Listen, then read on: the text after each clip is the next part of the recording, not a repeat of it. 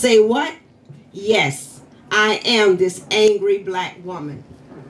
You made me this way. Like an eagle, I soar, I mount my heart, my feelings on high, where I watch to pray. In the flash of lightning, I swoop down and just you so you won't partake of me ever again. You love yourself, a black woman. That's what you tell me. Should I salute you for your insatiable appetite for young black women? Warm beads of sweat from the palms of my hand. I'm sorry, warm beads of sweat form in the palms of my hands like a steamy hot day in the August sun.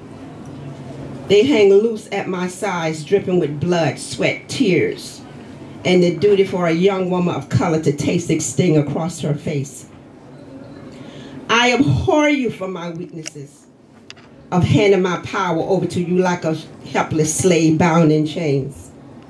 The magnificent person that I was meant to be, hidden under the mask of disguise. Fearful to uncover my true self.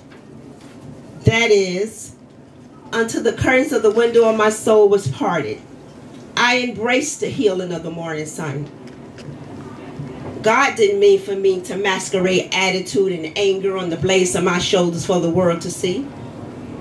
Pride, self-esteem, wisdom, knowledge, beauty, black beauty adorns me now. The sweet fragrance of frankincense, myrrh, and lilies of the field escape my pores. I skip in gardens of chamomile and lavender flowers. Morning dewdrops kiss my hair. The wind tickles my scabs and laughs with me. Free, I am free, finally free.